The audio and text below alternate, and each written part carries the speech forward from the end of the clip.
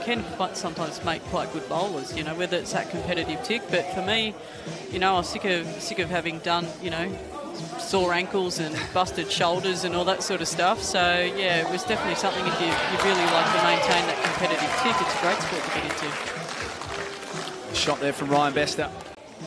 I thought he was right, yeah, he kept round. It's walking with purpose, isn't it? Oh yeah. Known for his ability to drive and blast, but his touch game is such an underrated feature of the way he plays. Sounds quite tropical. It does. Makes me look forward to next year. Yeah, my word. There's always something happening at this wonderful club. Mm. This is on track two for a very, very good result. Could he tuck that around the corner with him?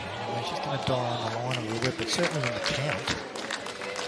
And they're loading this count up now. But Murray in pretty good shape right now. Well, I like to be standing on the mat with that in front of me as opposed to Aaron's challenge for sure. This might be the one that. No, that isn't a good home. Oh, yeah, that makes Aaron's life even hard. I'm trying to do cut it out to them. Right, he could make four or five or, or sit the ball and stay for three. So we uh, highly doubt Ryan will be short with this one. Just under, I think. The slide. His weight was perfect, just under the line. Yep. And I mean, I, I let the guys down last night. I played terrible, so uh, yeah, it was a it was an average day. But we came out, we changed the changed the setup a little bit, um, and we had two really good wins, and then stiff stiff loss, tight loss against Tweed Heads. So great shot there, stuff. Best, one of the best going around. I'm a little bit disappointed actually. He had the uh, the grey Nike headband and. He's been talking about this whistle and his clipboard, and he hasn't brought it out yet. So Is that who had the whistle? I heard it earlier. Yeah. yeah, it's a bit shy on TV, Kevy. Look at this, Bester, just under for the jack. What a shot! Great shot. Jeez. Nice positive draw.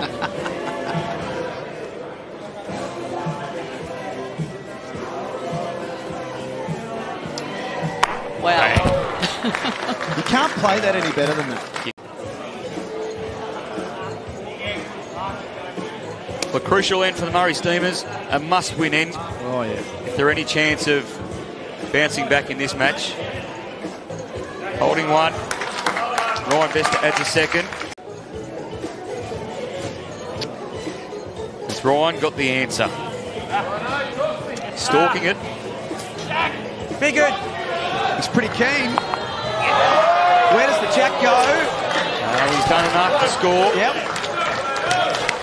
in the BPL Cup game on uh, on day two out here on the grass green, and um, Carla and Aaron had a crack against. I think was that against you guys, Perth, in a practice game, and Yeah, Jr. was come on the for the first tie break.